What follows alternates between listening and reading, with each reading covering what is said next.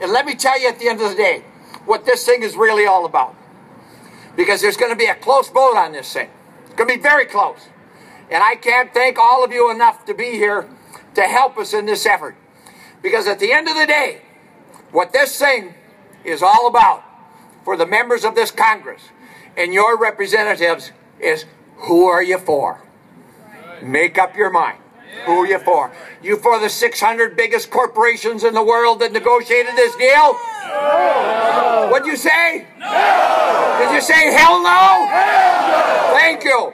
Are you for the foreign governments that subsidize their steel and other imports to put our manufacturers and workers out of business? Hell what? Hell All right, thank you. Are you for the billionaires that profit from these free trade agreements? No, no damn right, because you know who we're for? We're for the working men and women of this country, the most productive and effective anywhere in the world. Are we not? Yeah. Damn right. We're for the manufacturers in this country, the creative, the inventive leaders of business and industry in this country. Are we not? Yeah. Damn right we are.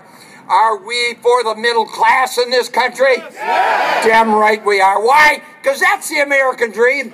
A good job with wages, benefit, a healthy, safe working place to work in and to raise your family and to have a few bucks left over at the end of the week to wet a line or have dinner with your friends. That's what this is all about. So as the other speaker said, don't let them off the hook. Tell them, who the hell are you for? And if you're for us, you're against fast track and you are against this Trans Pacific Trade Agreement.